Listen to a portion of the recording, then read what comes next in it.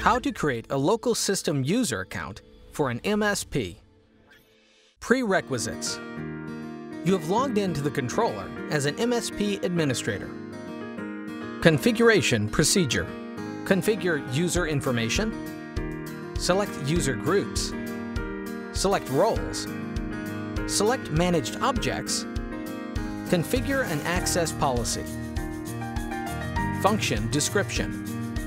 An MSP administrator can create multiple sub-MSP administrators and assign different rights to each sub-MSP administrator by role. Application Scenario The MSP administrator created by the system administrator has all MSP rights and is called the root MSP administrator. To ensure system security, the root MSP administrator can create multiple sub-MSP administrators and assign different rights to each sub-MSP administrator by role.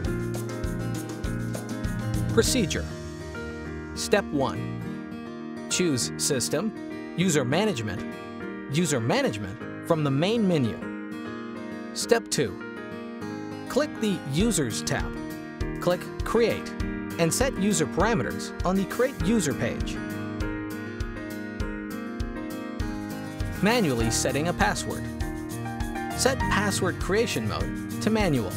Then, you can directly set a password when creating the account. Setting a password via email. Set password creation mode to email. After the account is created, the system sends a URL to the user's email box. The user can click on the URL to set a password. Step 3. Expand Advanced Settings and set maximum online sessions, account validity days, allowed logins, enable the user policy if no login within a period, and compulsory password renewal. After the configuration is complete, click Next. Step 4.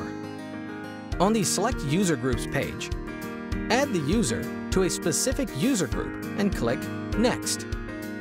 Note, if no user group is available, Create a user group as prompted. Step 5. On the Select Roles page, attach user roles to this user and click Next. Step 6. On the Select Managed Object page, select the tenants to be managed by the user and click Next. Step 7. On the Select Access Policies page, click Create in the Client IP Address Policies area. Configure the range of IP addresses that can use this account to log in to iMaster NCE Campus and click OK. If no IP address range is specified, all IP addresses are allowed to use this account to log in to iMaster NCE Campus. Step 8. Click OK. Verifying the configuration.